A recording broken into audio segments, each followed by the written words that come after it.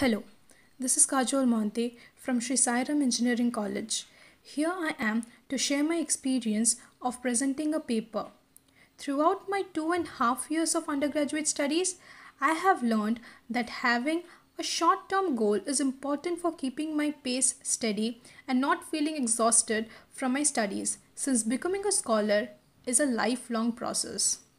I started by collecting information through online research and of course my college time and again provided us several opportunities to showcase our talents and kept updating us about various competitions taking place. I had participated in two three college level conferences but uh, to be honest won none of them. As i lacked proper guidance on the same. Then i started expanding my knowledge and somehow reached to dr mithilesh ceo of mit square and he was the one who actually gave me my first big break.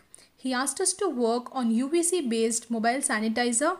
I and my teammates geared up for the same. First and foremost thing is how well and most importantly how innovative can you be at expressing your ideas. Start approaching the solution of the given problem statement in a way which is different from others. Next, I focused on preparing my abstract as I strongly believe in first impression is the best impression. Even though I intended to present on a single topic, I, I needed uh, several uh, different versions of the abstract. You know, uh, though the topic might be same, but there must be different requirements of various competitions. So I tried to keep updating my abstract as well as my paper with every newly added feature. Now, uh, do not forget to keep innovating your project. This will make your paper look very strong. We started from scratch and took baby steps. Most importantly, have the patience to withstand the failures because we had tumbled at a point uh, because we hadn't bagged any of the title and uh, Mithilesh Asar kept boosting us up and we then never gave up.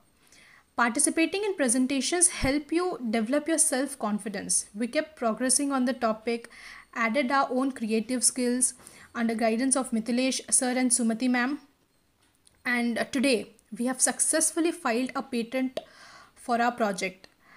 Our project looks way too different from where we had actually begun.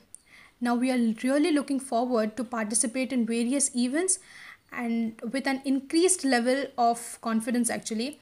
And uh, we will try our level best to win the title. Thank you. Hope this will help you